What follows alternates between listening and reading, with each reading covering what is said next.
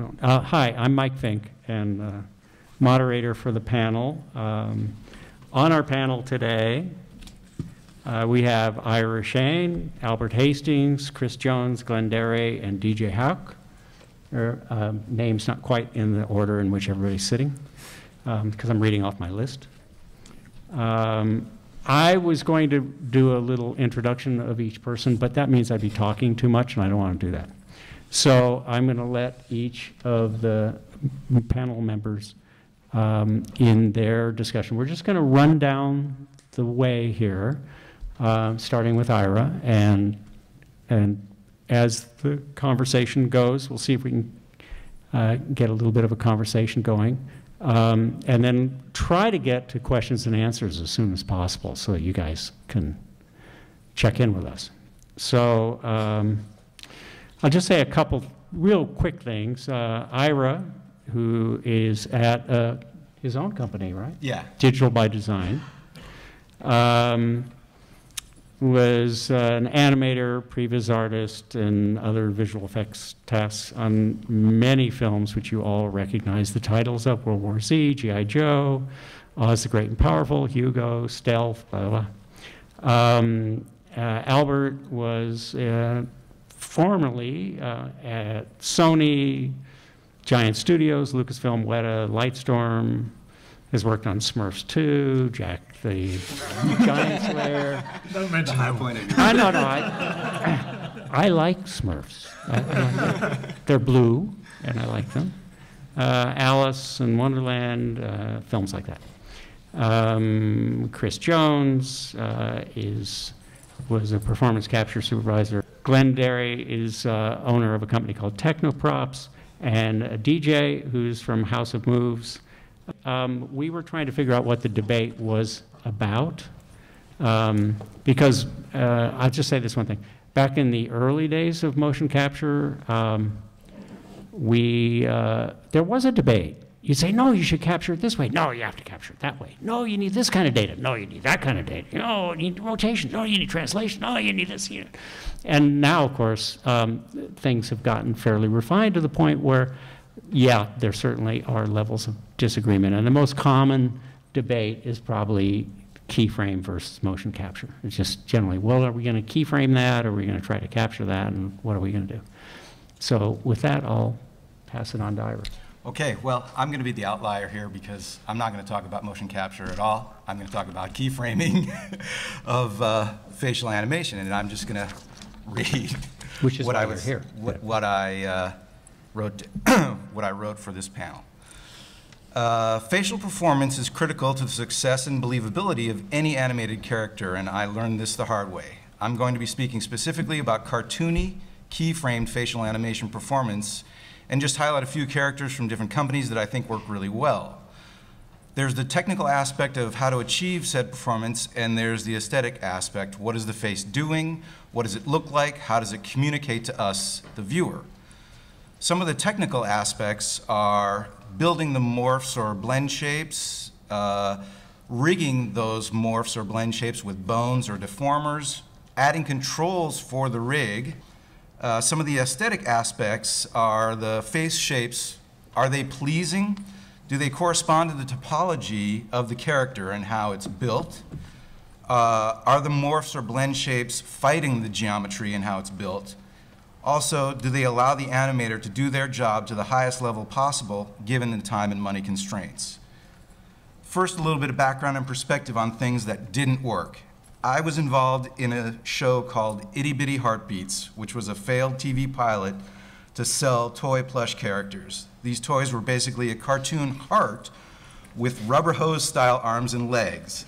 The facial features were humanoid eyes, nose, and mouth. No matter what I did, I could not build face shapes that I thought were appealing, that moved well, they didn't fight the geometry, and gave the animator something decent to work with. There wasn't any time to explore techniques, and we ended up sculpting the geometry when maybe another technique would have worked better. Animated texture maps or flat geometry that described the facial features, more like a drawing, that conformed to the curvature of the cartoon heart shape. So the pilot was produced, but the facial animation of the heartbeats was creepy and very cringeworthy. Uh, another project that I was involved with was Star Wars Lego 2, which were commercials for the video game. The minifigs were pretty rigid and immobile. With something so well known, to go against what we know is physically possible, their rigidity and immobility can work against you. So, no deforming of the face geometry, which was basically a cylinder, to aid in the performance. Geometry that represented the decals of the eyebrows, eyes, and mouth on the minifigure were built as 3D geometry and shrink wrapped to the geometry of the face. Then we built blend shapes for these pieces of geometry, and I was pretty happy with how they turned out. The rigging for the facial animation controls was very basic because there were a limited number of blend shapes.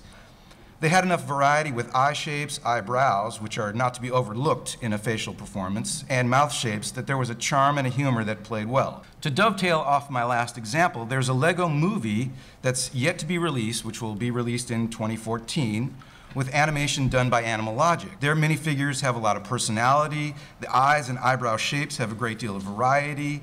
The characters speak and have emotion. Lots of fun mouth shapes for lip syncing that are pushed to extremes to reinforce expression. Though in the trailer, I noticed that the Batman character has sculpted eyes that are part of his mask, and those deformed to convey emo emotion. It works, and for me, it doesn't take away from the believability of the world they have created. Uh, the next thing I'm going to talk about is a show called Pocoyo. So, Pocoyo is a human child. He has very appealing face shapes and facial animation using just eyes and a mouth. Very elastic and fun and very engaging.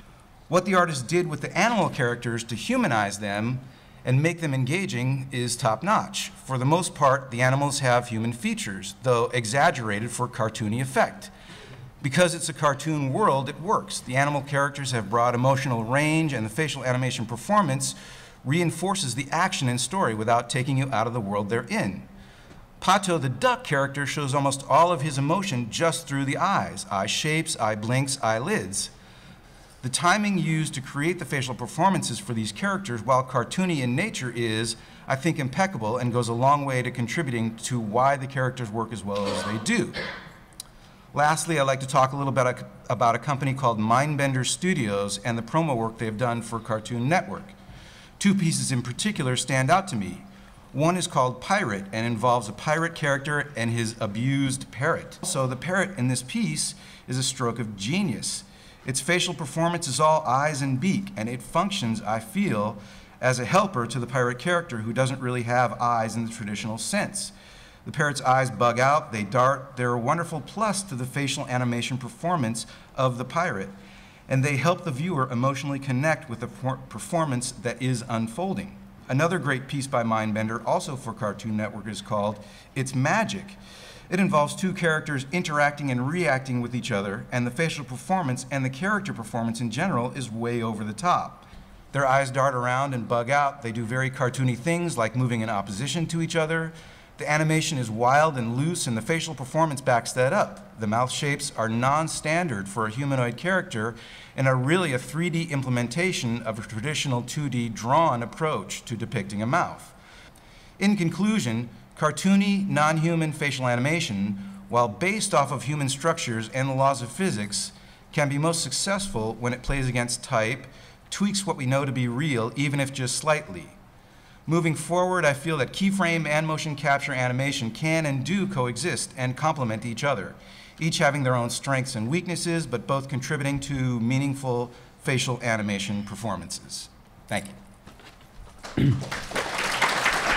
I, uh, I have to ask you, you worked on Oz, is that correct? Yes. Were you, were you involved with China Girl?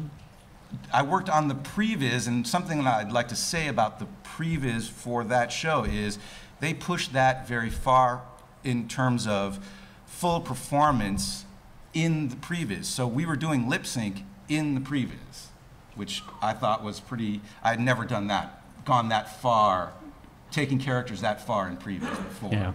And I, yeah, I did do a little bit of China Girl stuff. Yeah. Okay. Well, we'll talk more about that.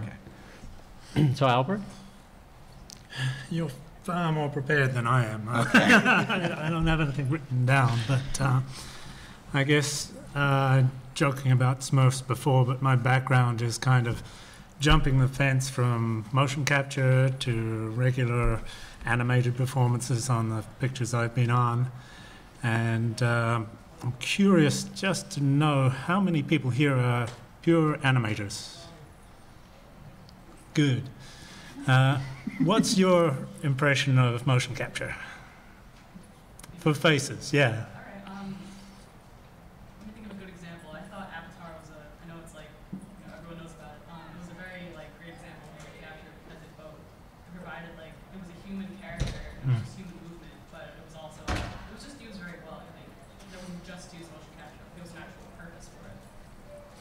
Yep, I think you straight away hit on the big point here that if you're capturing a human, it goes really well on a humanoid character.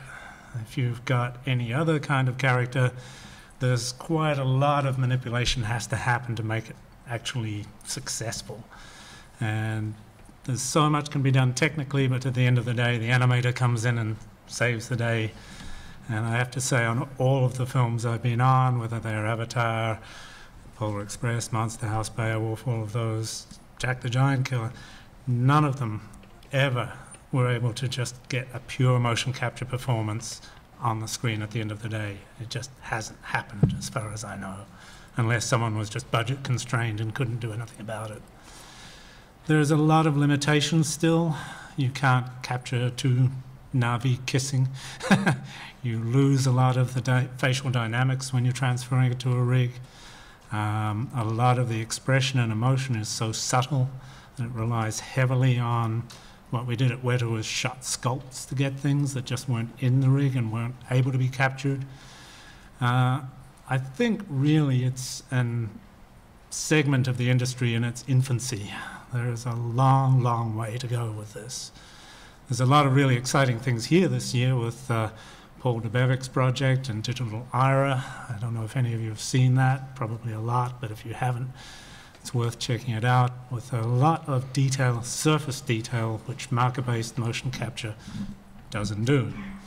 Um, I do see that there have been projects that have used it well and other projects that have used it in a very bad manner and kind of given the whole thing a bad rap.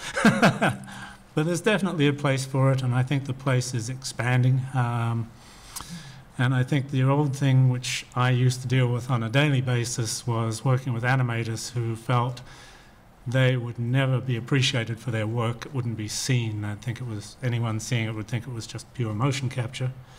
And then working with motion capture artists who would swear that the animators change everything. but I have, to- I have to add that, that uh, we're often not helped by, uh, on feature films, by the filmmakers themselves who uh, invest a great deal, quite often, into, let's say, motion capture, facial motion capture, and then stand, once the film is released, in front of that film and say, this is all motion capture, there's no keyframe. Um, And, what's that? Marketing. It's all marketing, right. Um, Just, I once attended a SIGGRAPH where I had worked on a film, and the film had been released the week SIGGRAPH uh, happened, and the producer showed up to actually do a talk. The producer of the movie was a very big Hollywood producer, and claimed there were no visual effects in the movie that had just been released. I'm s- sitting in the room, going, and Lee.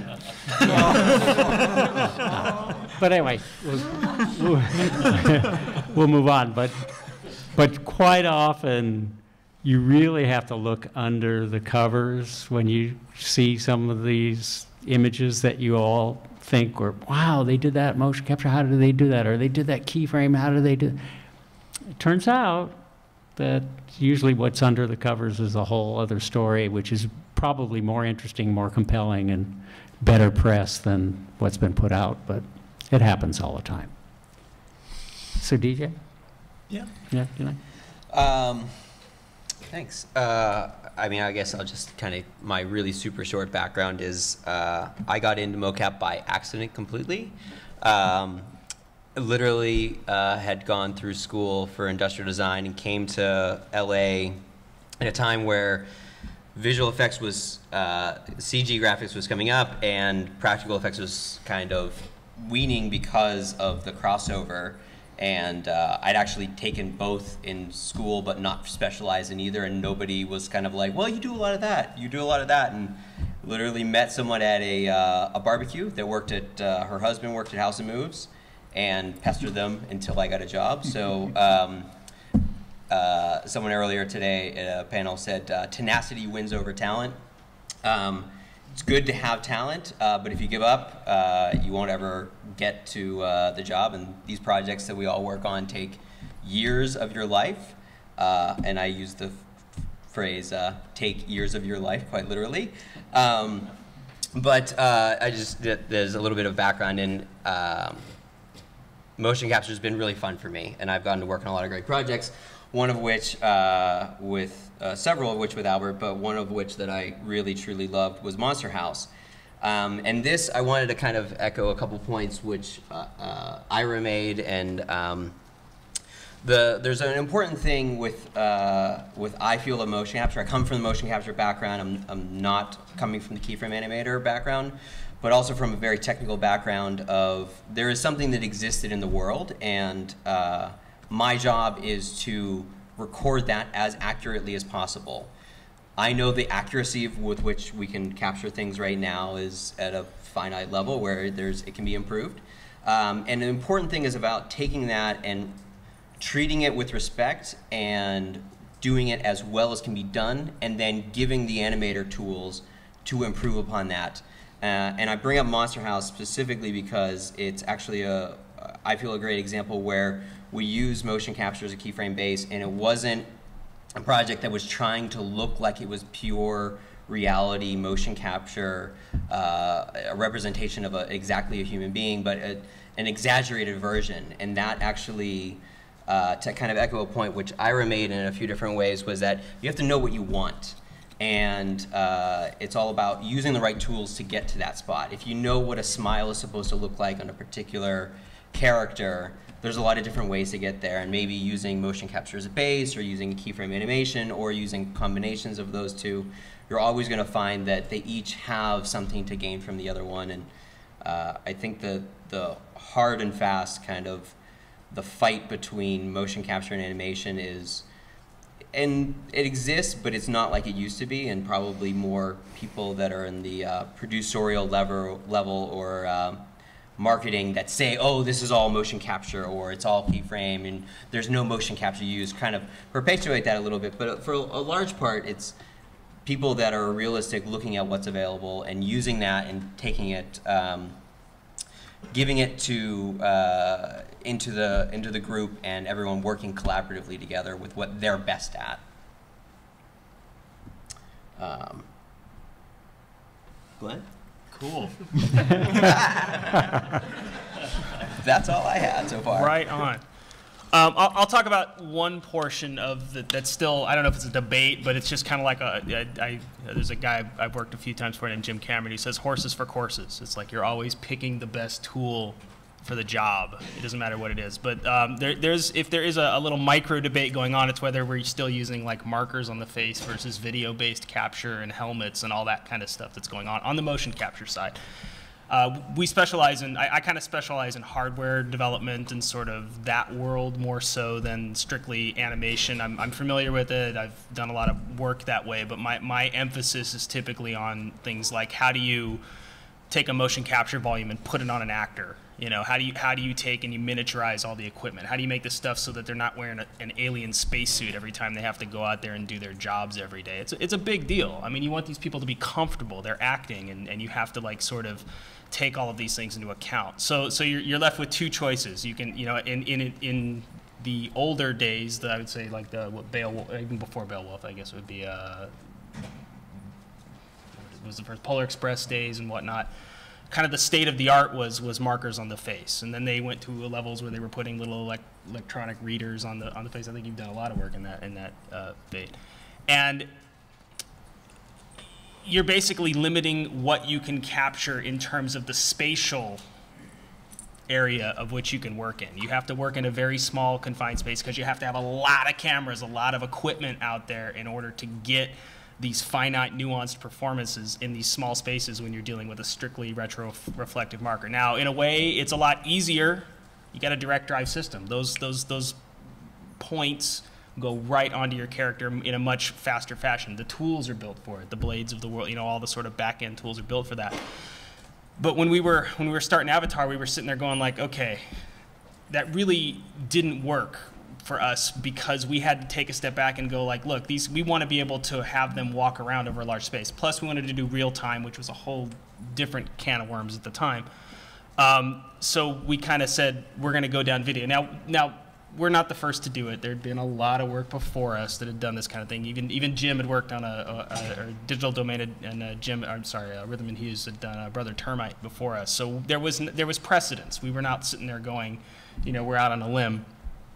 Um, but we tried to refine the thing and make it as small and as comfortable as possible. And I think since that's sort of proven two things. One is that even even in standard definition, even in its lowest, you know, commonality in terms of the actual capture that you're doing. When you're doing a video-based facial capture on someone's head, I don't care if it's multiple cameras, single camera, whatever it is, I always have the fallback position of having really good animator reference. Okay, even if even if none of the markers work, even if the even if the tools don't work, I can always send that video to some guy and say, make it look like that. And that is a big part of I know Mike's job is make it look like this, describing what this is, what the performance capture when you're doing the head, head cams, at least it unifies the performance. I'm not like having to describe it, there it is, make it look like that. Now, yes, of course, there's nuances in terms of how the rigging is applied and all of these things. But the unification of the single actor's performance is the biggest deal that I think. And that's sort of the leap that's happened in the last several years with these head mounted systems and all that kind of stuff. Um, versus the sort of detachment between having to do things twice. I have to go do things in my body volume, then I have to go do things in my facial volume, which is weird. It's weird. You're never going to get the same performance. It's never going to look great. The actors think it's weird. The eyes don't work. There's all this other stuff. So that's unification is the biggest, I think, stride and the step forward, and, and the reason to go down that path. I don't even know if that's a debate anymore, but I thought I'd bring it up anyway. and we'll move it on down to Chris. Um, so I as well completely fell into uh, motion capture. Uh, I have a live action background um, in television. Uh, I'm one of the few people that was born and raised in Los Angeles and actually stayed here. Me too. Yeah, yeah. Uh, I started working at 15, like doing video on the city council meetings, then post-production sound, production sound, camera assistant, assistant pro- uh, producing little things for television, cable. I did cable for a few years, and then I ended up uh, one of these. Uh, an executive had gotten hired by uh, Image Metrics, is when they hired me. They say I need somebody that can talk to a computer scientist and then talk to a producer and make them hear each other because it was uh, they were a small group of um, uh, just animators and computer scientists, and they would go into these shoots with these directors, these producers, and these actors, and not know how to speak to them. And you know, growing up in LA, you realize that there's three different languages for each one of those. You know, it's like you can only talk to an actor at a certain time in a certain way if the director's not there, but you never want to step on his toes, and uh, you know, all the, the those little bits. And uh, we started out. Um, I've kind of been focusing. I'm like one of the the odd. I never got to I, just dive in for a few years in a project. I've been kind of like the the facial capture mercenary of sorts, where they just you know I'll be with somebody uh, on set for you know two or three days or a few months at at most, and then you know we get some feedback as we go, and then we move on and we go on to the next one. Um, uh, but one of the things we've learned is that there is so many ways to skin a cat. You know, just to tread on some of the water that they've already gone over, uh, a lot of people over the last, you know, five, six years still have done that detached head. You know, Uh, we don't have the budget or the time or the resources to be able to get our principal actors into a mocap volume. Um, especially a lot of uh, animation, television, and some of the, the old games guys, they just they're so used to just here's my voice director. We're gonna do all these voices in the booth, and they're voice actors, and like we're not dealing with that. That's you go get the stunt guys out there. And you know, we saw how that, that disconnect that we've all known for years is like you get this great emotive performance in the voice, and then you've got this super overdone, you know, the stunt guy over mocapped, and then you put it together, and you're like, well, that just looks weird, and you know, you can get away with it. Uh, with that, um, the more cartoony it is, the more you can get away with it. You start to make it more real, and then you just go, ooh, kill it with fire. It doesn't look right, you know. Um, So and then now um, these days we see more and more, as you know, Glenn does the the head cameras. Uh, um, getting all those pieces in one. Um, I don't know. I feel like I'm treading on things you guys have said now. No, I, I actually really agree with. oh, I mean, the with both of what, what you've said is just the combining and having the body and the face performance together is absolutely critical. Yeah. Um, I mean, one of the key things that you see is absolutely the eyes more than anything, because your eyes will lead you a split second before you turn your body and your head. And if that timing isn't right, it just doesn't feel natural. And I mean, a lot of people will use that as something from Polar Express is the dead eyes, you know, and every project we all work on is it's the technology and the state of everything from the hardware to the computers to the graphics to the rigging, everything that you do at that time. And that was a big complaint at that time is the eyes look dead because they didn't have the, the subtleties of the quick motion that just is evolutionarily natural, like you recognize and you see it. Um, and that you, when you don't put them together, you get this overacting because someone's trying to use their body to express their feelings for this character and not just a combined thing, which is natural out of your face, your eyes, your voice, your temper, your pacing of your walking and your breathing together, all those things. And those really are very important. Yeah, so it's like right now you see the uh, the markers and the video based is you know those are the ways you can actually do that full performance capture and you know we've seen more and more mocap stages soundproofing these days. So you know now you've got soundproof stages all over the world. When what a few years ago there was just a handful. Handful, yeah. Yeah, um, because it's just even with the eyes, but the, the inflection, the way you breathe when you speak, you see it in the chest. You know, if you try to pick that up, you know, two weeks later, it will never match. You know, I mean, eh, but with keyframe animation, it's like you know the possibilities are limitless, but you've got you know the old cheap, fast, good triangle.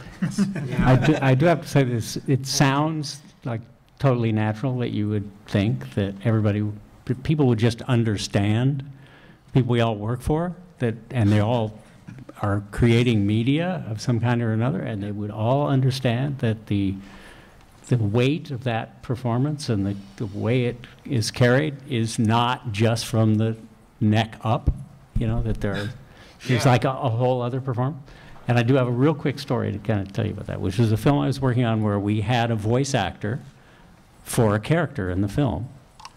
Uh, the character was fully CG. And the voice actor was replaced with another voice actor um, 12 weeks before we were supposed to finish the movie. So we'd already animated the character to the original voice actor.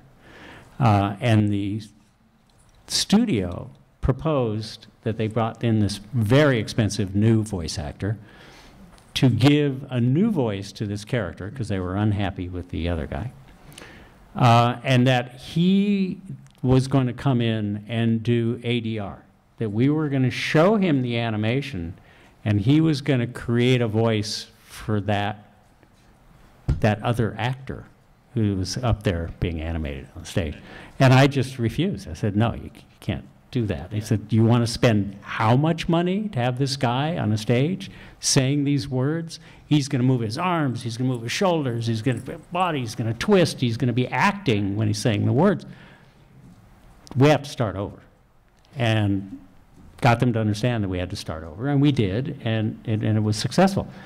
But it was so easy for them to think that you just sever the head. Put and him in a straight pop- jacket. What's that? Put him in a straight Right. performance. I was just trying to picture how we would try to get this act, and I, s- but the, what swayed them though was not the logic of why would you want to do that because you wouldn't get the best performance. That didn't sway them. What swayed them was the fact that they were spending all this money for the actor and not getting full value because they don't. they, they needed, if we're going to get, might as well get the whole body too. you know. You're paying for it. Yeah, you're paying for it, so that, that worked. yeah. I think that's the challenge, even when you do have the actor being captured on stage and performing at the same time. That, um, like, take going into House of Moves the other week for the first time in a long time. They've got an enormous, beautiful stage for body capture, and a much smaller stage for facial capture. And it's like you said, the body capture stage just isn't getting that much use anymore. Yeah, it's just. Uh, I mean, our. I think. I think it's like 85 or 90 percent of our work is all full performance now because everyone is you know realizing that they want all these things together, and a lot of people come in and say they want Avatar. That's this ends up being a literally And like that's me too. Avatar. We- and yeah. it's like Can we Do do you have the Avatar? We don't have any money. money. yeah. We want to do Avatar. But it's also, also because 90% of the performance comes through from the face. Yep. Right. And if you've captured a body and you haven't captured a face, you've lost a lot. If you've got a Tom Hanks or uh, Angelina Jolie up there on stage acting, um, you want that. So I don't know how many people here have seen the show To Lie to Me. Um, familiar with that? Mhm. Yeah, uh, that's that's another one. Uh, Paul Ekman was a consultant on that because his expertise is in micro expressions. And he also built a system we all currently or commonly use for facial expression transfer to rigs is uh, a FACS system, a set of Mhm. FACS expressions. His show just tells you how small a tell is when you're looking at someone to know if they're lying, to know if they're hiding something. It's an extremely tough thing to capture somebody's face and just get all that. Have you, Um, so uh, even in your experience, I'm addressing the entire panel here, Hmm? has, has anybody, who has a, a- an example in their heads of a, what you know to be a motion captured performance that you felt was really, really, that, that we might all recognize, that you felt was really close to being about as good as it can get or or better, you know, that was surprisingly good, you know, I mean, I, I, it's hard for me to express this, but it's just the idea that, can you think of a performance that was motion capture driven that really surprised you by how good it was, and you know that in fact there was very little keyframe done, that it really was derived from motion capture? Or are there any that you just love, even, even if they aren't that good? There's a moment which I, uh, I will say that uh, I don't know how much keyframe went into it, but it was a very subtle moment, and I remember just seeing it in the dailies uh, during Beowulf, which was um, Brendan Gleeson's character. It's they're in kind of the the king's room, and Beowulf saying he's going to go off to fight the the monster, and and Brendan Gleeson's character saying that he's going to go with him, and he just has this.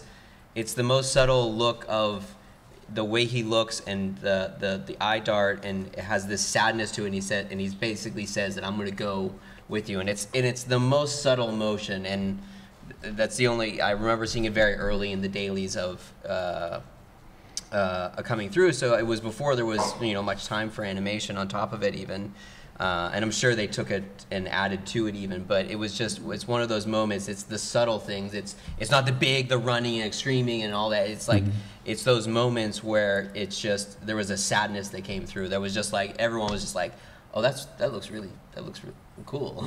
Yeah, yeah, I think for me, it's Planet of the Apes. Uh, yeah. came as close as I've ever seen getting real emotion. That's true, I've seen the split screens, yeah. from a performance. Have, it- have most of you seen the, the demo reels of the making of from Planet of the Apes, from the Rise of the Apes?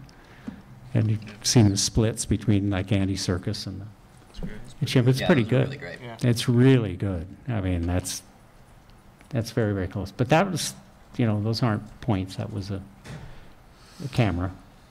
And, uh, um, I, I might just throw it open to questions right now, because it's, it's a little sooner than I expected, but, um, but why not, you know? And if, if we don't have any questions, then we'll tell stories for a little longer. Yes, sir.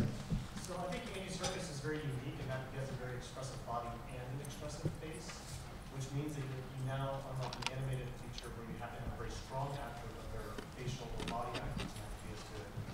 What kind of, what does that introduce into the capture scenario when you now have to have somebody who has a really good physical performance and really good voice, and they themselves have to have all those combinations of things to capture? Who wants to answer that? Uh, I mean, I'd say one thing that people, um, it used to be a joke uh, in motion capture of if you want a guy playing basketball, don't get Bob from accounting. That people didn't think, oh, well, I should get someone that really knows how to do this. And I've seen a lot of um, gone to a lot of things with uh, with SAG and different things where actors they're asking, "What should I do to be really good at motion capture?" And it's like you should be do good at whatever you do. If you're if you're a stuntman, if you're like an actor, if you're a dramatic actor, comedian, like just they should be good at what they do. And our job is just to replicate. Yeah, it. it's almost like there's there's no such thing as a mocap actor. You're either an actor or you're not an actor. And those who actually just the, the best mocap actors are those that can ignore all the crap on them and just do their job. Yeah. Those are the ones you love. If they're if they're tangled and this is weird and they feel um, they're feeling self-conscious, all that comes through. It's the people that can truly act in it like black box theater style, because that's what you're doing. You're on this big great mm-hmm. world with no props and nothing. If you can do that and nail that to the wall, you're gonna you're you know you're gonna do well as an actor there, and that's what we appreciate too. I, I you want to see that emotion, you know, as as you know, and it doesn't help if you're it also helps if you're a halfway decent stunt guy because i have yet to do a mocap show where it's like oh they're just doing like a walk and talk you know gonna do a little dialogue romantic comedy. There always there's always something physical going on and, and that's important. I mean even though yeah you're not having to leap off the giant building because you know you're gonna leap off a little thing you want a physicality to it. They need to know how to sell those falls in an appropriate way not in an overacted stunt guy way. I actually find that a lot of the the regular actors as opposed to the stunt guys do really well in mocap because they can do their own stunts, if you want to call it that. They're little micro stunts they have to do, and they don't overact it, which is really cool. It's a, it's a big difference. You see a stunt guy fall, they fall a certain way. And that's the cool thing about mocap is you get to make these guys hit hard. You know, it looks good, it looks cool. Yeah, uh, pre-production, casting. You know, you have to find the people that are going to do that. You know, your casting session. You can find out very, very quickly because you know, like I said, it's like motion capture is, in some regards, with the body, is like what you see right here is what you're going to get for the most part. And if some guy's overdoing it, you can tell it in a snap. You know, um, so it's like, oh, now you, now you got to get both. Uh, we, I've seen a lot of uh, good from theater actors as well because they're used to wearing costumes and having to play without a camera. Because a lot of the times, uh, when you think about the virtual camera too, now because a lot of sets you've got one, two, three, four virtual cameras in there, or some are still like. Uh, if they don't have the pre-production done, they don't know where the camera's going to be yet. So it's, oh, we're going to play this like theater. We're just going to play it in the round, and then we'll place the camera in there later. So you know, you have to have actors that can play to whatever production style you're going to be working for that as well. Yeah, I mean, actors, actors know a lot of things, uh, and a lot comes into their performance that informs their performance. If you're shooting a traditional shot and you're doing just a close-up, um, they feel free to do things with the rest of their body that, that may never register on film. But if you're doing motion capture, that's not the case. And, uh, and generally, you want the whole body as well as the face. And so it it requires a focus on their part. And, and my experience is that the directing of an actor for motion capture is every bit as critical as directing an actor for a live action scene. And directors don't necessarily understand that. It actually helps them. Like that's one of the things that we really stressed on, you know, Avatar and then Tintin. Right after that was Jim was like adamant about telling them that we're in the close-up. You're we're here now and showing them that because they do. They do. You move differently. I don't need these.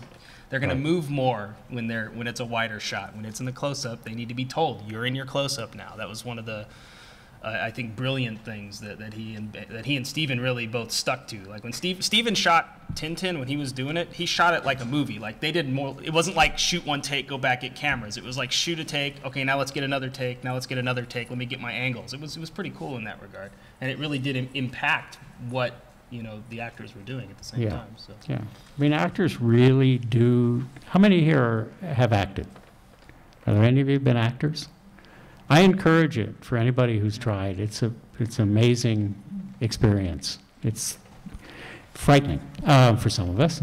Um, but anyway, uh, it's, actors need direction, and they really do. And when you, you, I remember the early days of motion capture where you just try to get somebody who, you know, when you got to parameterization, you didn't have to get crazy trying to fit, you know, uh, Peter Dinklage onto Arnold Schwarzenegger. um, but um, uh, you, you really, really have to work with them. It's a, we're giving a lot of time to this, but I think it's im- really important, and it's important for everything. It's sort of like the example I gave of the actor who got replaced. It's just, they're going to do something different, and you, you need to recognize that. And the facial capture, um, when you capture with the motion of the character, you're going to be a lot closer to where you need to be than if you set, get them separately. So, other questions? Yeah, I'm trying to do this. I'm going to pick somebody in the back first because they never get picked on. so that guy in the black T-shirt, you got your hand up. That's you. Yeah. Um, for animators who want to start integrating motion capture, what would you say to them, and where would um, one start learning to uh, adapt? I don't know. It- it- okay, I, I think that you, the opportunity has to come to you. I mean, you can search it out, and then you want to work a, on a mo, uh, motion capture show, like uh, at a game studio or so. Find somewhere where you know that motion capture is being produced first of all, and go into that situation with an open mind and learn what that's about so that you can then integrate your keyframe animation skills with what's happening, the performance that's happening from the motion capture. But you have to you have to find a place where the motion capture is happening, finding a job or some type of situation where you can get access to those motion capture performances, facial motion capture performances, specifically for this panel, what we're talking about. And then you can gain experience and integrate what you already know about keyframe animation and expression and all those kinds of things with the facial motion capture. Yeah, and you, still need the um, to be able to keyframe animate. It's like uh, a lot of people that if, if you deal with facial motion capture specifically, uh, the mocap data straight out, whether you're doing like a video solve or a macro solve or whatever, it's only final right out of the box if it's a background character.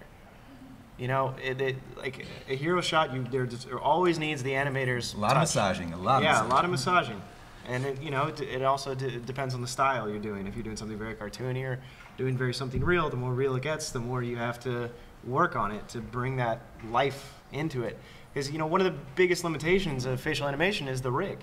Um, you know, you talk about like, oh, I'm getting all this amazing data. This camera is so high def, or we have all these points, and you go, but the rig can't hit that shape.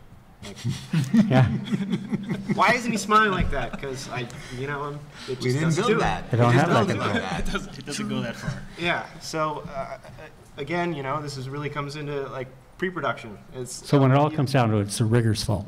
Always. You know, I, you actually bring up a really interesting point, which is, um, you know, we talk about like going from Peter Dinklage to Arnold Schwarzenegger, and there's an obvious physical body difference there. But I find a lot of times that there are facial differences between an actor and a character, Yeah. which people don't appreciate necessarily until you get down to that point where I've captured it and it looks like this on this actor, and it doesn't look like that on my character, and why not? And there's that the process of retargeting, taking it from one to the other, which sometimes it could be something very uh, you know obvious of if the actor has very full lips, but your character has paper thin, tiny lips, an ooh shape is not going to look the same. Or mm-hmm. even something as simple as the line of the mouth. A character, if they have like kind of a, a natural frown to the shape of their mouth, but your your actor has a slight smile. It all you know. You have these little differences which give a feel that I look at this person and it always feels like this, and the character just doesn't feel the same, and that can be partly a technical thing that we can work on and ultimately sometimes just is, ends up being a massaging thing because it's not that the technology didn't hit it or wasn't able to. It's actually that you have something different in your input than you than you have on your out than you want in your output and it's about what you want to get to to kind of bring it around back to that Yeah, because you're going to have your blocking and your timing of the actor of that performance, but that last little bit to make it actually read if there's such that difference. Yeah. Yeah, the best execution that everybody always says, you know, the avatars, and I would go like, if you want to go like more modern examples, some of that like Halo 4 stuff, Cortana, or some of that stuff, where where you know, the character model is the actor or actress or very close. Mm-hmm. So when you're engaged with that person, the, the output in terms of being able to call the shot of yes, that looks great. A lot of that has to do with the fact that the character designs i- is very much impacted by the actual performer. If you try straying way off, it becomes a lot harder problem to solve. I actually had a really interesting project where we, we had a one-to-one, which we always think is, oh, it's great, we have one-to-one. And we went through this whole thing and we could not get the lips to look right and we're like, this just is wrong. And we found out, like, very far along the process that the model, uh, uh, an actual legitimate supermodel, had model sign-off and the lips were not big enough on her model. Ah. So she actually requested that the lips be made bigger, which then threw off all of the dialogue. So we were like, we're perfect. No, it's no. Well, one of the things that uh, we, we mentioned Rise of the Apes before, and one of the reasons that Rise of the Apes was as successful as it was, was that the design of the chimps were, and the, and the other characters, were humanized. The faces were not true chimpanzee faces or orangutan faces or whatever they were. There was a humanization to a, a number of them, especially the Andy Serkis Caesar, uh, the Andy Serkis character, and there was a, and you can see it. So you can so you can see that expressiveness. And one of the biggest problems um, that hits us all the time is integrating uh, motion capture across species. I mean, it, it doesn't it doesn't particularly work, and I don't generally favor it, but I've uh, but it happens. And even in, in keyframe animation, I'll get to you in a second, but even in keyframe animation, if motion capture totally aside, if the rig, if you've got a tiger, we've all seen a tiger, um, if you have a tiger, but then you build a muscle system for that tiger that's sort of like Garfield, you're not going to get a tiger, you know, and it doesn't matter how good your animator is. So there's, a- there's a whole lot of considerations. When I did Golden Compass, we actually got veterinarians to work with us and tell us exactly what the muscle structure of the animals, we had 130 basic animals in the film, and what that muscle structure was, so that when we animated them, even when they spoke, they really used animal muscles to make those faces. So there was no human characterization to them at all. So anyway, um, there was that person I said I'd get to you, on there back there yeah i just want to say thank you Isabella and I- there, right back to a similar point that you made, uh, mm-hmm. the second there, yeah. I just want to say thank you. There's a lot of insight on this, but I just want to go back to a similar point that you made, uh, Mhm. the second from the last. Huh. I forget your name, sorry. Glad. Uh, about that this conversation has almost entirely revolved around feature film or film, as opposed Right. to games where there's even more Right. And as to the success of uh, Quantic Dream or uh, L.A. Noire, where the characters were modeled almost to the T to the actual actor or the performer, as opposed to other games like Naughty Dog, you know, where they do entirely keyframe Right. facial animation to reach that uh, believability. Yeah, I mean that's that's that is a big struggle. I mean, actually, I'd say at this point, a, a- a bulk of my my work that we've been involved in has been games in the last couple years, more so than uh, feature films, and not because you know we're not good at feature films. It's just that's the kind of work that's out there right now, so that's what we've been getting into. And yeah, I mean, there's the, the, the rigging on the facial side is much more limited, but on the flip side, you know, I think that if you're able to successfully show these characters emoting, I mean, obviously it's pretty easy if it's one to one. I mean, easier than if you're trying to have some big burly guy being played by a, a little, you know, pipsqueak guy. I mean, that's a much harder thing. But yeah, no, the the techniques that we, you know, that started kind of on the feature side are, are, are definitely being pulled over onto the game side, and the and the engines are getting better and better. You know, it, it it's still at least to me personally, strangely disconnecting to a certain degree. That there's just a limitation, even still, in terms. A lot of it has more to do with lighting, more so than the anim- the animations themselves. Um, gets kind of creepy at a point, and you kind of have to like back up. And I think I think like you know the Naughty Dog example is a great example of awesome animation. I think that like like I was saying, Cortana Cortana uh, in uh, Halo Four, I thought was a really good example. She was you know a very uh, uh, a glowing characters, so it wasn't a direct one to one, so the lighting didn't play as much. I think that helps, you know, if you're trying to do skin tones and everything and make that work. Still a little difficult, and I know there's guys here with technology guys will say, "Oh, but my system's awesome," but I mean, you know, this is. and, and I'm sure there's all kinds of great examples this year of, of awesome skin shaders and all that stuff. But um, I'm, I'm really a big fan of trying to, you know, push again the performance all at once and and I love that the games are finally like catch you know catching up to that and picking up and, and carrying the torch because you know the feature film side is, is it's just not happening as much right now. I mean we got a few like Turtles has happened a few other shows but that's definitely uh, a lot of the uh, uh, technology at least is actually coming from the game side these days. Yeah, um, so I, I myself, I've been doing a whole bunch of games the last few years as well. And uh, one of the more interesting parts about it is we- we're, we're starting to see uh, indie devs, even some like iOS devs, trying to get into facial capture. Um, you know, they're doing uh, very limited amounts, but you know, it's it's people have been doing it for a few years now. The techniques are out there, you know, and so, so they're like, okay, well, you know, these these iOS they're they're getting better and better and better, and we can try to work that in there.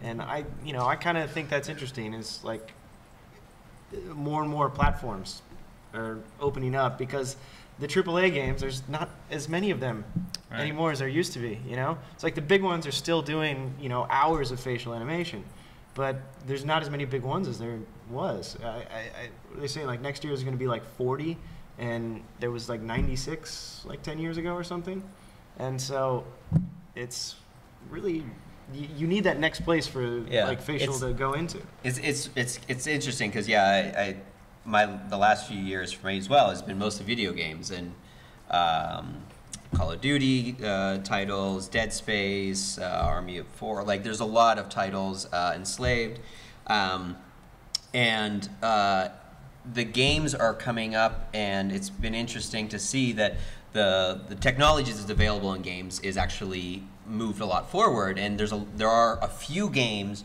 which are able to have the money to spend literally on uh, more on more animation and making it better. Um, but at the same time, is interesting is you know uh, we've seen a lot of games where the uh, AAA titles don't have the budgets that they used to because they're not doing as well, and actually cutting back and not necessarily pushing animation, uh, facial animation as much time, or even cutting back the number of joints or controls that are available on the rigs because it's literally become budget things in some cases. So it's it's been a really interesting thing of there's there's very there's a very small slice of titles that are actually pushing forward, trying to go uh, bring uh, large numbers of blend shapes into games, uh, improving the systems, and there's a lot of titles which are still the pretty large AAA titles, but are actually cutting back and just trying to do whether it's uh, for um, uh, like the massive uh, multiplayer games, but even some of the kind of more story-driven games, kind of bringing it back because it is it's still an expensive process, and we haven't really been extremely successful in making it super friggin' cheap. yeah Yeah. We have time for maybe one more question, so Um, maybe two. So uh, I was wondering, like for body capture is very well known, and uh, there's there's some best practices associated with that. You, know, you can target your controls, or you can drive the joints directly in space. Um, have facial rigs started to standardize? Are you seeing similar practices at various uh, studios, or um, is it still kind of the wild west? It's standardizing. uh, I was lucky enough to be at Giant Studios while they were working on Halo and seeing some of the facial rigs coming, getting developed out there at the moment. And at Quantic Dream after they did Beyond Two Souls, looking at what they did with Ellen Page, which was pretty impressive. Um, I think the rigging side of things has come a long way because of the motion capture, because there used to be no way really to have as much flexibility with changing the performance before or after you've captured as there is today. That's where most of the work's been going into being able to post animate or change or manipulate the performances. But it's also getting extremely technical to the point of even a company like Microsoft can have one rig that is going to be its standard facial rig. Maybe not everyone can afford to go that much in depth down. But I think because of that, everyone benefits. It'll become more widely known what's being done and how to do that. So that's making leaps and bounds practically as much as the capture technology itself. Yeah, and then again, you've got the limitations, whether it's running in a, a real-time space like a game engine or pre-render, because in pre-render you obviously can do a lot more. Uh, so in the game space, every engine has its own little limitations or al- uh, resources allocated to animation, and specifically, you know, the face. It's like, oh, we, you know, we want to spend more CPU on blowing shit up. And, uh, oh no. so, you know, you still get you still get um, uh, bones and joints, and you still get blends. You get combinations or hybrid rigs as well. Uh, you know, I think in the game space, it's still kind of wild westy. But, you know, there's a few houses out there that are really uh, that, that build rigs. It's like this is what we do, and now you know more and more people Yeah. are going to them because they they do it well. That's that's what you're seeing consolidation of talent. The guys who really nail the rigs to the wall band together and go, "We do this well." and now let's go sell ourselves as those guys, and that actually benefits everybody Yeah. because you can hire a smaller studio that specializes in just that, have them do what they do well, and then, and then leverage that, and that's you know across the board, I think, a great thing. Yeah, Yeah. I, oh, I was going to say, yeah, I think it, I, I kind of stand on the side where I feel like it's a little bit of the Wild West still because, you know, as a service provider, we see a lot of different rigs, a lot of different control systems, and just the number of joints, the number of controls, the way the controls are laid out. Um, and one of the things that definitely in the last few years that um, we've seen is the is the, the guys that know how to do control rigs and how to build a rig that works well for motion capture um, and the guys that have really learned how to make to replicate a human face as opposed to making something that works really well for just animation where there's a complete freedom of you can do anything just as long as you add another shape or you just pull the slider further. There has to be a more of a realistic connection to the um, to the rigging um, as if it is like a real face that you know something's connected to the face and I need this to really act in a very specific way in a very controlled way and have a little bit less flexibility than maybe you would have if you're going really ex- exaggerated keyframe. But the guys that are you know the rigging is really that's kind of the next thing that's kind of moving forward that mocap and that have to work well together or animation to for that matter We'll have one more question real quick, and then we're going to go. Yeah, okay.